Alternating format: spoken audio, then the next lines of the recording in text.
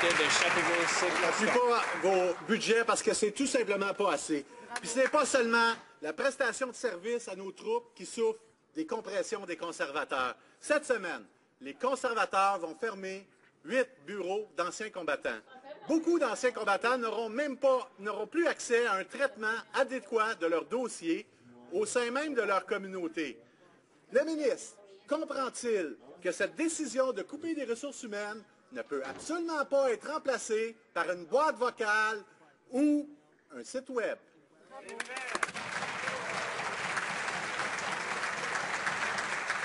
le secrétaire parlementaire. Speaker, Mr. Speaker, our government has made substantial investments to support Canada's veterans, including almost $5 billion dollars in new additional dollars since taking office.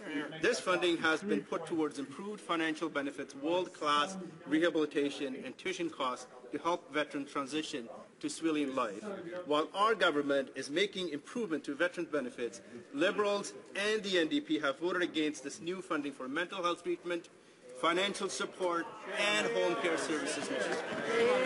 The honourable member for Sackville, Eastern Shore. Mr. Speaker, what utter nonsense. The fact is, these offices provide invaluable services to the heroes of our countries. Those offices that are closing on Friday, Mr. Speaker, will no longer be able to deliver that one-on-one personal care that the heroes of our country so rightfully deserve. Those offices are closing on Friday, but the government has a chance to do the right thing. Many veterans are on the Hill this week, and many veterans, RCMP members and their families across the country are watching this government closely. Will the government now do the right thing, reverse that decision, keep these offices open so the heroes of our country can get the valuable service they so rightfully deserve? The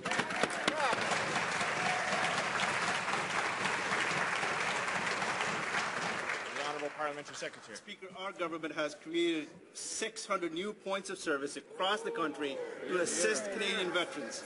Canadian veterans have access to 17 operational stress injury clinics across Canada to help them rehabilitate from service injuries. A critically injured veteran does not have to drive to a district office.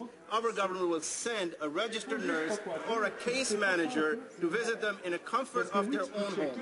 Veterans who are seriously injured can count on their government to shovel their driveway, Mr. Speaker, clean their homes, cut their grass, and so they can remain in their homes comfortably with dignity and respect that they deserve.